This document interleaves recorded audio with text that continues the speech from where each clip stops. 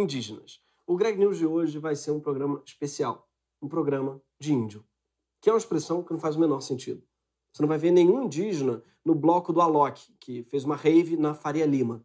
Você não vai ver um indígena lá. Programa furado tinha que chamar Programa de Paulista. Igual presente de grego. Nunca nenhum grego me deu uma mala de presente no aeroporto e em troca me fez assinar uma dúzia de revistas que eu não quero. Presente merda tinha que chamar presente da editora Globo. Mas tem uma razão para essa expressão, tá? Presente de grego, claro, que é os gregos deram um cavalo de presente para Troia e se esconderam dentro dele, o famoso cavalo de Troia, que também é uma expressão equivocada, porque o cavalo era grego, se chama cavalo da Grécia. O que os índios né, ganharam quando os portugueses chegaram foi uma espécie de cavalo grego, ou presente de português. Ter ido receber os portugueses na praia é que foi um programa de índio. Enfim, os indígenas eles estão sob ataque há 520 anos, desde que os europeus invadiram o que hoje chamamos de Brasil. Não há um só governo que dê trégua. O Brasil tinha, então, cerca de 8 milhões de habitantes, entre mais de mil etnias, quando os portugueses chegaram. E depois os holandeses, depois os franceses, parece um grupo da morte da Copa do Mundo. E é mais ou menos isso, tirando a parte da Copa do Mundo. Hoje, o Brasil tem cerca de 305 etnias e 900 mil indígenas só. Sim, cerca de 10% do que havia há 500 anos atrás. Não é à toa que historiadores consideram o genocídio indígena das Américas um dos piores holocaustos que se tem notícia. E a gente não sabe disso porque Hollywood não fez nenhum filme chamado A Escolha de Jussara, ou O Menino da Tanga Listrada, nem O Resgate do Guerreiro Jaci. Não fizeram O Resgate do Guerreiro Jaci. Mas, por pouco, essa história não foi diferente. Como diz um dos mais importantes intelectuais indígenas do país, Ailton Krenak, quando os portugueses chegaram aqui, eles não estavam exatamente do jeito retratado nas pinturas heróicas da nossa infância. E eles chegaram aqui famélicos, doentes, e o Darcy Ribeiro diz que eles fediam. Quer dizer, baixou uma turma na nossa praia que estava simplesmente podre. A gente podia ter matado eles afogado. Durante muito mais de, do que 100 anos, o que os índios fizeram foi socorrer brancos flagelados chegando na nossa praia tinham que fazer esse filme do Krenak voltando no tempo e matando os portugueses na praia e vendo as fotos depois. Tudo que é branco desaparecendo, sabe? Que é tudo que tudo é aqueles sapatênis desaparecendo, aquela loja da Van sumindo, sabe? Uau! Vou chamar De Volta para Ter Futuro. Operação Afoga o Gajo. Ao longo de um século, foram os indígenas que salvaram os portugueses fedorentos, ensinando eles a andar na mata, ensinando qual fruta podia comer, ensinando a tomar banho, ensinando a curar as perebas, ensinando a fazer pastel de Belém, talvez, vai saber, ensinaram tudo. Vai ver, era Belém do Pará. Claro, para quem não sabe. Não, essa é a única coisa que realmente é portuguesa nessa história toda. E aí, o que é que o branco fez para agradecer o índio? Mata, escraviza, saqueia, estupra, engana, diz que não tem alma, catequiza, explora e extermina. Por isso, gente, que ninguém gosta do homem branco. É como diz o latino: quem planta sacanagem colhe solidão. Aquele papo de que o índio não servia para ser escravo porque ele era preguiçoso foi uma das primeiras fake news que pegaram por aqui, porque os indígenas foram escravizados durante todo o período da colonização, ilegalmente, com aprovação inclusive da Igreja Católica.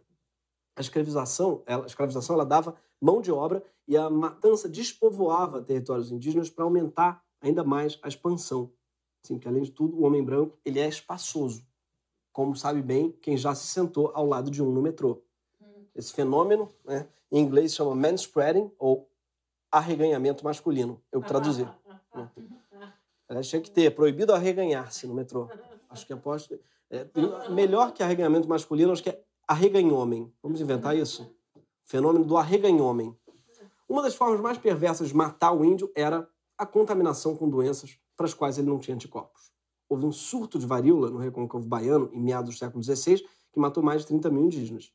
Mas depois foi muito pior. Darcy Ribeiro relatou diversos casos de contaminação proposital. Em 1816, no Maranhão, fazendeiros deram roupas contaminadas de varíola para uma comunidade timbira que queriam expulsar da região. A epidemia se espalhou no que ficou conhecido como Massacre dos Timbiras. Na mesma época, caso semelhante aconteceu contra os botocudos, na região do Rio Doce. Já no final do século XIX, foram os alemães que contaminaram o povoado Chocleng, em Santa Catarina, com o vírus da varíola, deixando na mata roupas contaminadas. No século XX, a estratégia ficou ainda mais perversa. Em 1960, fazendeiros deram arsênico aos indígenas Cinta Larga de Rondônia e jogaram de helicóptero brinquedos contaminados com o vírus do sarampo.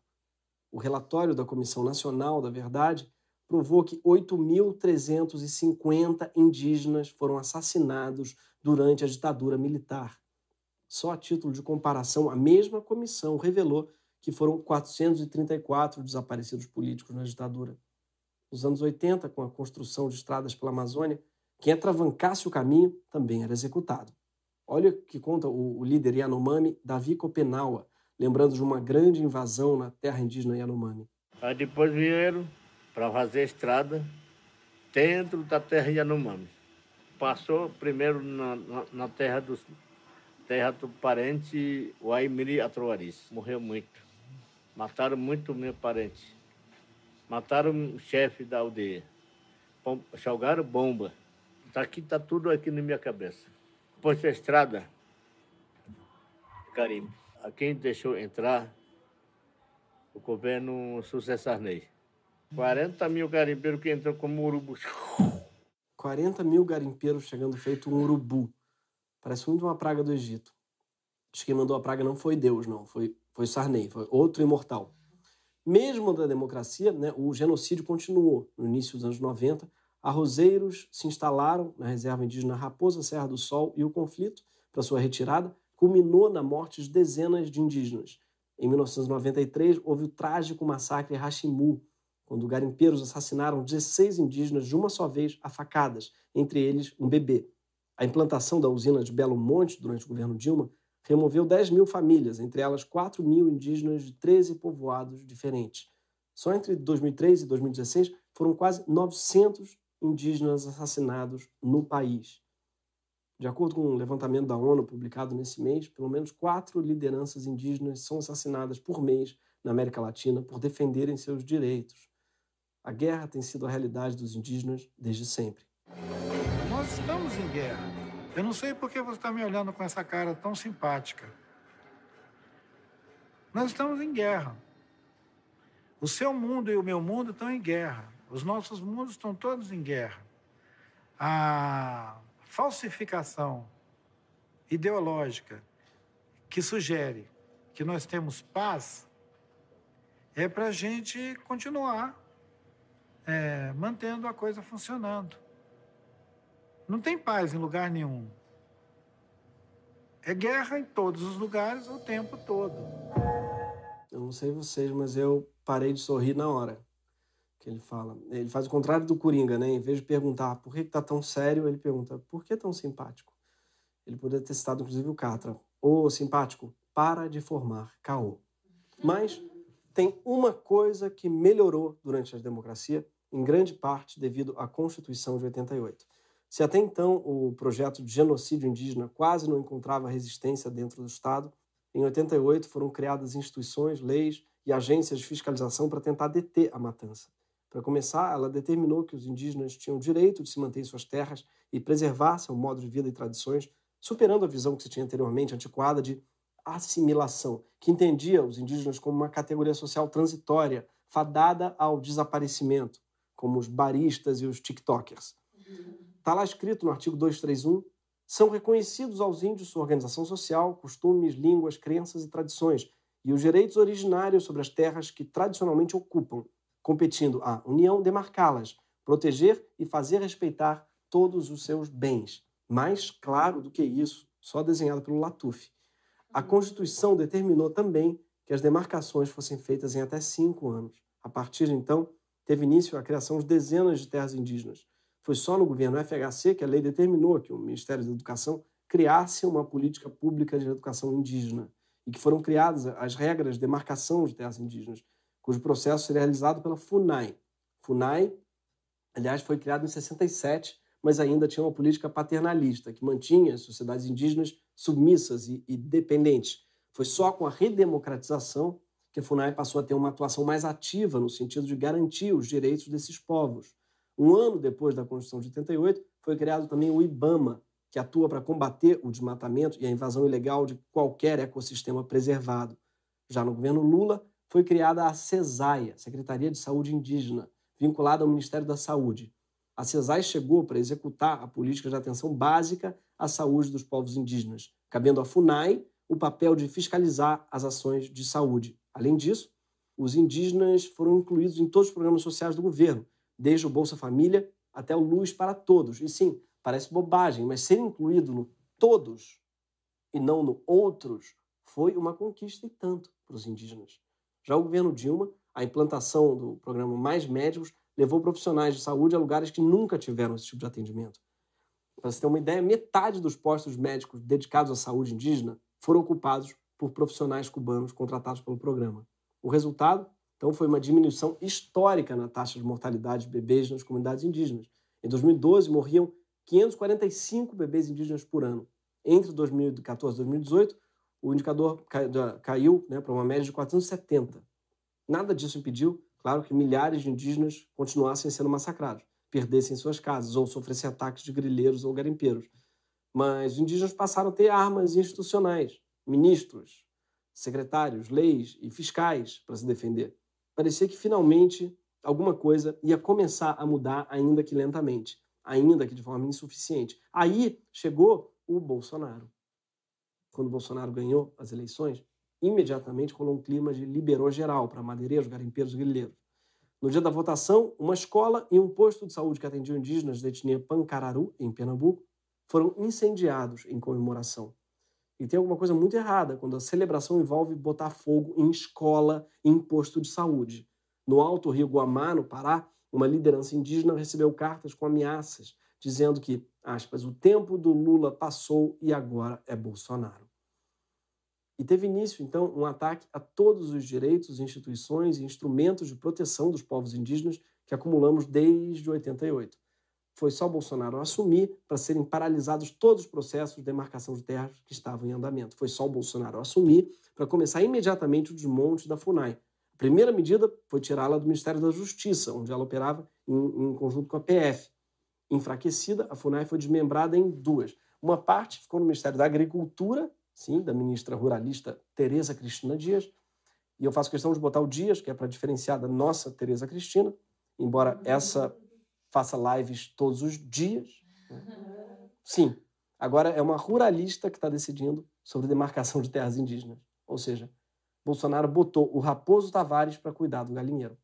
E essa piada foi bem ruim, isso aí, mas é que tá bem difícil fazer piada com esse tema. Teve, inclusive, várias piadas que eu pensei que eu não estou fazendo. Ali, por exemplo, na divisão da FUNAI em duas, eu pensei que uma parte ficou com FU e outra ficou com AI, mas eu não fiz entendeu? Em respeito ao povo indígena que já sofreu demais e não precisa desse tipo de humor. Então, eu não fiz essa piada e jamais faria. Enfim, enquanto uma parte ficou com a Tereza Cristina Dias, outra parte da FUNAI ficou com a Damares. Sim, sobre a decisão, inclusive a Damares disse, a FUNAI tem que ficar com a mamãe Damares, não com o papai Moro. Ao que o papai Moro interrompeu, dizendo que ele não queria ficar com a FUNAI tadinha. Tipo, se a Funai fosse uma pessoa, tinha que fazer muita terapia. Porque tá entre um pai ausente que não te quer e uma mãe que não deixa nem você ver Frozen porque a Elsa é lésbica. Tipo assim, essa é a sua vida, Funai. Uma das novas medidas da Funai foi parar de dar cestas básicas a comunidades indígenas de terras demarcadas e parar de atender indígenas que vivem em áreas urbanas. Isso mesmo.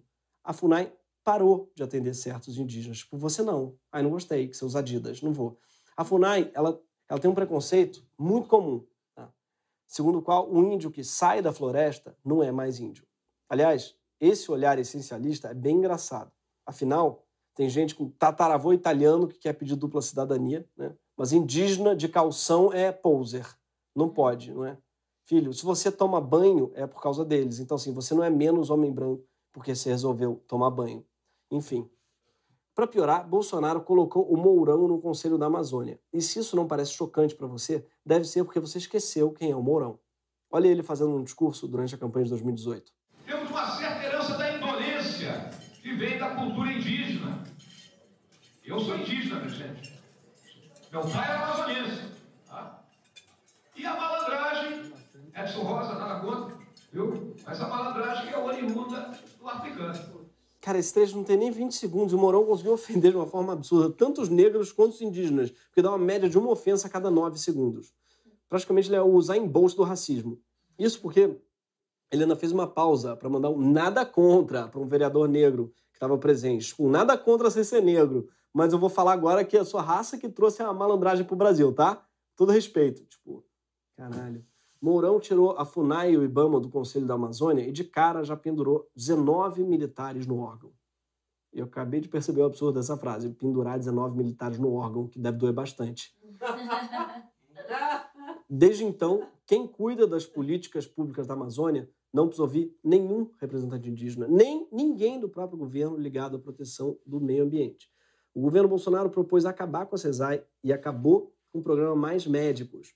Os resultados foram imediatos. Em janeiro de 2019, logo após o fim do convênio, houve 77 mortes de bebês indígenas, o índice mais alto para um único mês desde pelo menos 2010.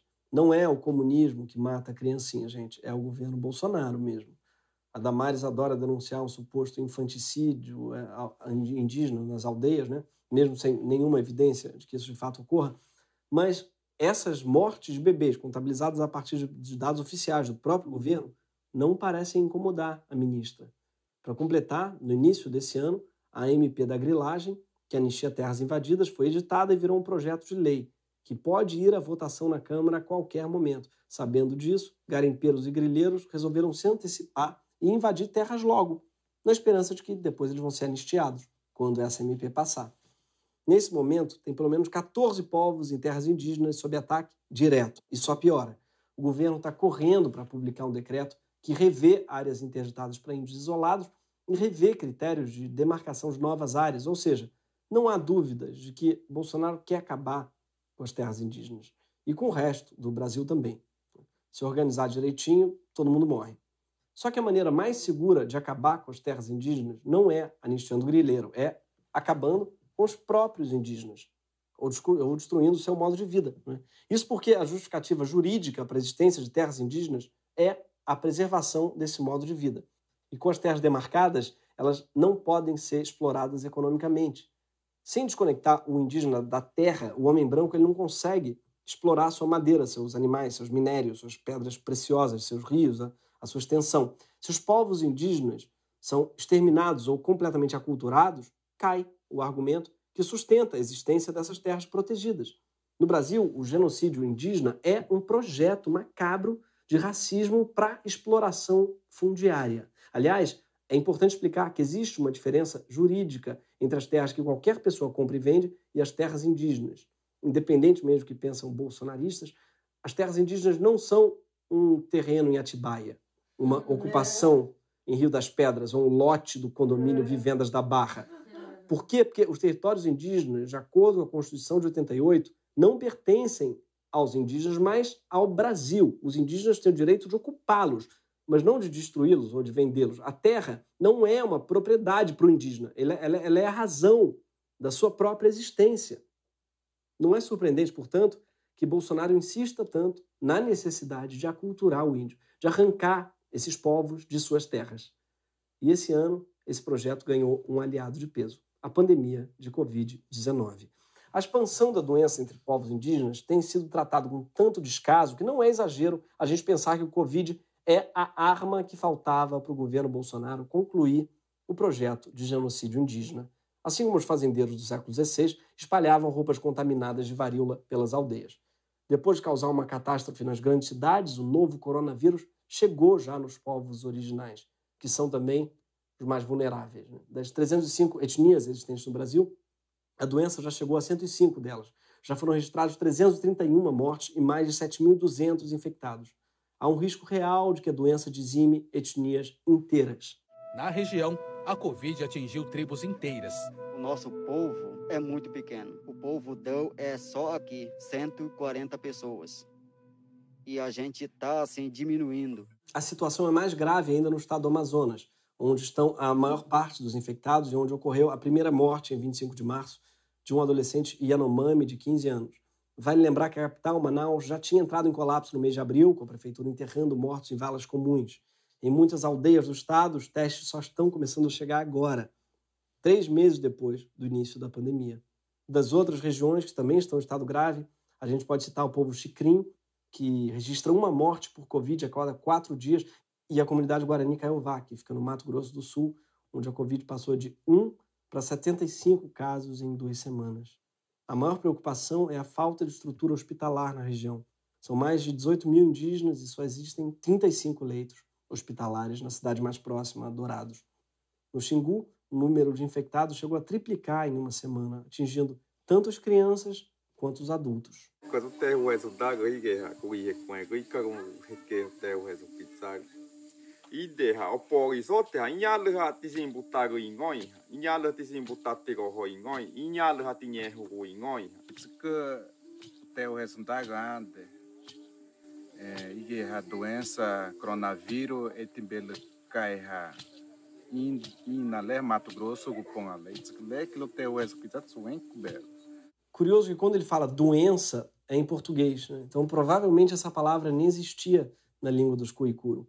Os caras deram para gente palavras como cafuné e farofa. E a gente retribuiu com doença e coronavírus. E tem uma coisa: a doença mata ainda mais indígena do que homem branco, proporcionalmente. Por quê? Porque a letalidade da Covid-19 entre eles chega a 8,8%, enquanto a média geral entre a população brasileira é de 5,1%. Muitos indígenas não têm os mesmos anticorpos que os brancos e, por estarem isolados, têm menos acesso a hospitais e postos de saúde. A doença tem ainda outro agravante entre indígenas. O coronavírus é mais fatal justamente entre as lideranças das aldeias, o cacique e o pajé, que costumam ser os mais velhos, e os mais velhos são os mais atingidos. E suas mortes enfraquecem ainda mais as populações, porque porque desarticulam politicamente e culturalmente, já que são os anciãos que guardam os saberes de um povo no povo Cocama, que fica no Amazonas, das 51 pessoas que morreram de coronavírus, nove eram lideranças. Na etnia Makuxi, que fica em Roraima, seis lideranças, que eram também professores, já morreram de Covid-19. Como é que a doença chega nas aldeias? Bom, a primeira forma é evidente. O coronavírus entra junto com os garimpeiros, os grileiros e todos aqueles que se sentem cada vez mais estimulados a invadir terras indígenas pelo presidente que odeia povos tradicionais. A relação entre a Covid e o garimpo já foi denunciada por um estudo feito pelo Instituto Socioambiental, o FMG, e a Fiocruz, na comunidade Yanomami, que mostrou que o vírus entrou com cerca de 20 mil garimpeiros ilegais que ocupam e exploram a reserva, que fica entre Roraima e o Amazonas. De acordo com o IBAMA, os alertas de desmatamento provocado por acampamentos garimpo, eles aumentaram em quase 30% desde o início da pandemia. E muitos garimpeiros também são poceiros, que se sentem estimulados pelo governo Bolsonaro. Em abril, o Ibama fez uma mega operação que durou cerca de 15 dias, vasculhando diversos territórios indígenas por helicóptero e por terra em busca de garimpeiros. Aumentou, talvez, a expectativa de que a fiscalização ambiental não tivesse o mesmo fôlego durante esse processo de, de, de expansão do coronavírus, e por isso o, a, os indígenas foram cada vez mais é, é, expostos a esses invasores. Gente que se esconde na mata porque sabe que não poderia estar aqui. Vamos correr que lá vem um avião de novo. Queimaram os maquinários lá, lá, lá. O sujeito está escondido no meio da mata para ninguém encontrar ele, mas ele não consegue parar de postar. Ele é um garimpo influencer. Ô, oh, desculpa aí, seu pajé, qual é, que é a senha do Wi-Fi aqui para eu postar um garimpo que eu estou fazendo? Gente, olha aqui, eu ganhei esses mimos aqui do, do ministro do Meio Ambiente. Olha essa motosserra aqui, que linda. Obrigado. Beijo para todo mundo que está me seguindo. Essa operação aí do Ibama dá até um sopro de esperança, não é? É bonito ver maquinária sendo queimada de, de desmatamento. Só que não, porque enquanto o Ibama fazia o que ele é obrigado a fazer por lei, em Brasília, o diretor da operação, Onivaldo Azevedo, foi demitido. Sim, o Ministério Público, inclusive, está pedindo a abertura de investigação contra o ministro do Meio Ambiente, Ricardo Salles, para saber por que, que ele demitiu o diretor dessa operação. Né? Porque se por acaso tiver alguma conexão com algum tipo de proteção de garimpeiros e grileiros, ele pode ser acusado de improbidade administrativa. Mas, gente, é o Salles. Ele nunca protegeria grileiro, nunca que ele seria condenado, nunca seria improbidade administrativa, nunca seria condenado por isso, até porque ele já foi. Sim, o próprio Salles já foi condenado por isso, sabia? Então ele deve ter aprendido alguma coisa com isso, imagino. Mas além de chegar via garimpeiros e grileiros, o coronavírus também chega pelos indígenas que trabalham fora das aldeias. Sim, no Brasil existem cerca de 100 povoados isolados, ou seja, não tiveram qualquer contato com brancos, mas existem também grupos, claro, nas florestas que têm contato permanente com brancos. Também tem grupos que vivem à beira das estradas e tem grupos que vivem dentro das cidades. Muitos indígenas passam fome, vivem amontoados em moradias pequenas, viajam quilômetros para sacar o Bolsa Família e trabalhar em empregos precários. Na região da Grande Dourados, as primeiras pessoas a se contaminarem foram trabalhadores da fábrica JBS. Sim, ela mesma, da Friboi e dos irmãos Joesley e Wesley Batista, os irmãos Ley. Dos 4 mil funcionários que abastecem a marca Seara, 30 são indígenas que viviam na reserva, que fica a 5 quilômetros da indústria. Houve um surto na fábrica e os indígenas foram contaminados, levando doença para a reserva. Em 48 horas depois da confirmação do primeiro caso na aldeia, outras 10 apresentaram sintomas. Todos tiveram coronavírus. Em um mês, já eram 86 casos confirmados. Por fim, outro vetor potencial de contaminação é o contato com lideranças religiosas vindo de fora das aldeias. Para vocês terem uma ideia, em abril, agora, no meio da pandemia, integrantes da comitiva evangélica, missão Novas Tribos, com Novas Tribos, sim, esse é o nome da missão, eles compraram um helicóptero especialmente para alcançar os povos isolados no Vale do Javari, na Amazônia. Imagina, a pessoa está isolada, tá? sei lá quantos séculos, de repente brota um maluco engravatado, berrando. Assarahaya Hanamaya! Ah, Sara, pelo nome de. Pelo amor de Deus. Isso eu não sei o que eu faria. Ainda por cima eu todo infectado, todo cheio de vírus. Essa semana passamos 50 mil mortes por Covid-19 no, no país. Sim, isso é muita gente. Isso é muito, muito, muito trágico. Mas seria injusto simplesmente incluir os indígenas nesse número como se eles fizessem parte da mesma estatística. Porque quando a pandemia chega dessa forma aos povos indígenas, o que está sob risco não é só a vida de indivíduos, mas é a sobrevivência de um povo que é massacrado dessa forma há 500 anos. É a existência de toda uma forma de vida. Não é só um genocídio, é um etnocídio também. É o extermínio da possibilidade de uma relação diferente com o mundo. E esse é o único projeto que Bolsonaro está conseguindo implementar com sucesso. Bolsonaro sempre deixou claro o que pensa sobre povos indígenas, mas poucas frases são tão reveladoras quanto essa. Aqui apenas são as reservas indígenas no Brasil, né? Onde tem uma reserva indígena, tem uma riqueza embaixo dela. Temos que mudar isso daí é um vilão muito óbvio, né? Dá até preguiça de comentar. Ele fala o plano maligno dele, assim, para todo mundo e tá gravando, e foda-se. Enfim, quando o Bolsonaro diz isso, que debaixo de todo índio tem uma riqueza, ele não está falando só por ele, ele está traduzindo uma ideia muito antiga, muito, muito antiga, que define todo o projeto de invasão desse continente. E a gente pode até falar que foi a invasão do homem branco, não seria mentira. Mas foi, antes de tudo, a invasão de um modo de entender o mundo, um projeto de transformar tudo o que está na Terra em lucro e exterminar tudo que estiver em cima dela atrapalhando. A gente tem pouco tempo para evitar que a Covid leve esse projeto até a sua conclusão macabra. Mas pedir atenção a esse governo não parece ser possível. E aí que, infelizmente, o dinheiro vai fazer toda a diferença. Esse mesmo dinheiro que há 500 anos serve de justificativa para o genocídio indígena precisa ser urgentemente gasto para evitar mais mortes. A equipe do Greg News conversou com professores da Universidade Federal do Amazonas que estão angariando recursos para distribuir cestas básicas e equipamentos de higiene para cinco etnias indígenas diferentes. São etnias que vivem em áreas urbanas ou semi-urbanas, têm contato com o homem branco e por isso mesmo estão mais expostas à Covid. São aqueles indígenas que esse governo sequer reconhece como indígenas porque o seu projeto envolve apagar a existência de povos inteiros. E sim, a gente gostou dessa campanha porque ela reúne duas coisas que Bolsonaro abomina: universidades federais e povos indígenas. Para apoiar essas etnias, a universidade precisa de recursos. E é aí que você pode fazer a diferença. Para doar, é só acessar o site deles, amazoniacontracovid.org.br. Eu sei que é chato pedir isso. E não à toa, em quatro temporadas, a gente nunca tinha pedido para apoiar uma campanha de arrecadação. A gente já apoiou o projeto de lei, já criou uma porrada de sites, já conclamou programadores a criarem aplicativos, mas dessa vez não tem jeito. Uma pandemia que chega aos povos indígenas pelo interesse da grana depende da grana para ser combatida. E essa grana não vai chegar do Estado brasileiro. O Estado brasileiro está ativamente tentando exterminar os povos indígenas desde que ele foi fundado. A gente não pode contar com eles, mas a gente pode contar com nós mesmos, com a nossa rede. Os povos indígenas eles mostram todos os dias que existe um outro jeito de entender a vida, de se organizar e de compreender a nossa relação com a natureza. Isso é mais ameaçador para o projeto colonial do que nunca. Por quê? Porque cada vez mais a gente enxerga que a mentalidade que o Bolsonaro defende é o que está condenando o planeta. A gente está vendo o mundo acordar para o seu passado de colonização e extermínio. Inclusive, muita gente está derrubando ou pedindo a derrubada de estátuas de genocidas da sua história. Mas não adianta só derrubar a estátua do Cristóvão Colombo, do Borba Gato, porque tem um genocídio desses acontecendo agora, com os mesmos povos, pelos mesmos motivos e, e, e com a mesma técnica. Estão deixando uma epidemia dizimar os indígenas e estão dizendo que foi um processo natural.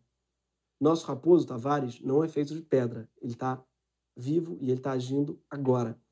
Os colonizadores eles continuam chegando e ainda dá tempo de afogá-los. Boa noite.